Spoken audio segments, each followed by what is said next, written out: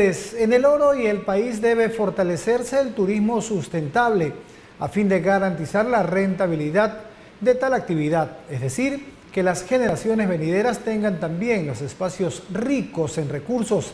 Así lo dijo Juan Carlos Rojas, presidente de la Cámara de Turismo, quien se refirió al Día Internacional del Turismo. Potencializar un desarrollo turístico sustentable en la provincia y en el país es necesario para garantizar la continuidad de los recursos. Por ejemplo, incrementar proyectos que incluyan la agroecología, señala Juan Carlos Rojas. Todas las actividades, en este caso comerciales eh, o industriales, tengan esa conciencia porque eh, es factible generar en este caso una actividad que sea responsable tanto ambiental como socialmente. Que a escala internacional el Día del Turismo se lo conmemora teniendo como eje una industria comprometida a hacer un bajo impacto sobre el medio ambiente y cultura local, al tiempo que contribuyen a generar ingresos y empleo para la población.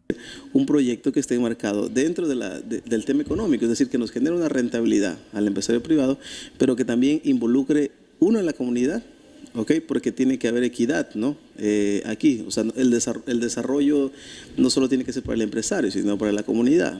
El titular de la Cámara de Turismo ejemplificó las acciones referentes al tema que se llevan a cabo en Hillary Nature Resort, donde se aporta con la conservación de especies.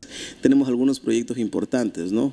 Este, de reinserción de aves, en este caso, proyectos de reforestación. Hemos sembrado árboles porque somos conscientes, en este caso, de la, de la importancia de la preservación del bosque seco. Lejos de ser un depredador del entorno medioambiental, las actividades turísticas deben contribuir en la preservación de mejores condiciones en cada entorno. Para eso es necesario mantener los equilibrios en la gestión, manifestó Rojas.